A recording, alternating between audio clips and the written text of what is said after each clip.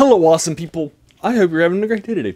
Today, we're taking a look at the next short story in this collection. It's six pages long, but there's a picture in it, so it's really just five pages long.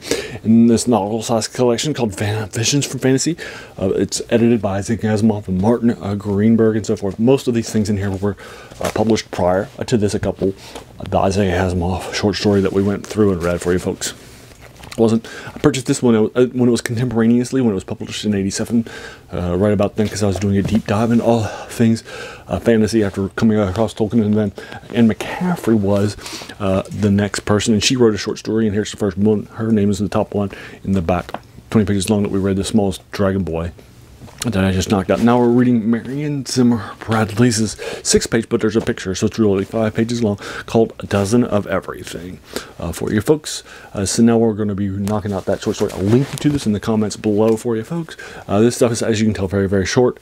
It's very, very small for 12 short stories, so it doesn't take that much of your time you to knock out. There aren't these big, gigantic reads of hair or anything like that, right?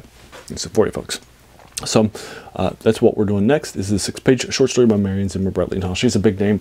Obviously, this uh, story was published, you know, decades before because she's a big, big name uh, in science fiction and fantasy. But I've never actually read, read any of her novels.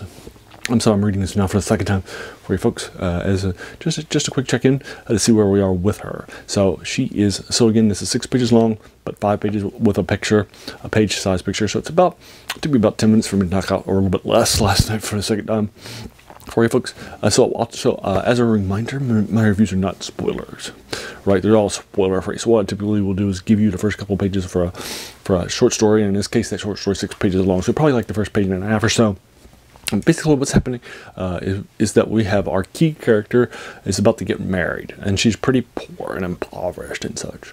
So she um uh, she has some friends that have some money and so forth but her and her husband don't and so forth. And she just got a present in it's a bottle of perfume from her rich aunt and she's the only living relative of her, of her rich aunt who's living up in uh, Egypt and will regularly write her letters that she'll respond to and that sort of a thing. So that's what's happening is that she's sent a gift of perfume uh, for her in the first couple of pages, uh, and that sets up what's happening in a dozen of everything for you folks. Uh, it's fun. I like it. I like the way that it ends. It's a particular surprise uh, for folks. I like. I thought it was pretty good. Uh, and so I definitely enjoyed this. And Marion Zimmer Bradley is obviously a big name uh, in fantasy. And she, even though this is only six pages, it's harder and only five pages with the picture.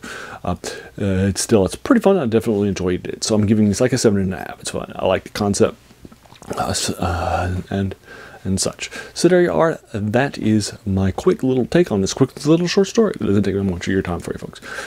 Uh, so this, as a reminder, uh, the chi- this channel's title uh, is the worst thing about new books, and that's a quote by a French philosopher Jacques Joubert, who said that the worst thing about new books was that they kept us from reading the old ones. Right, and so a collection that was published in '87.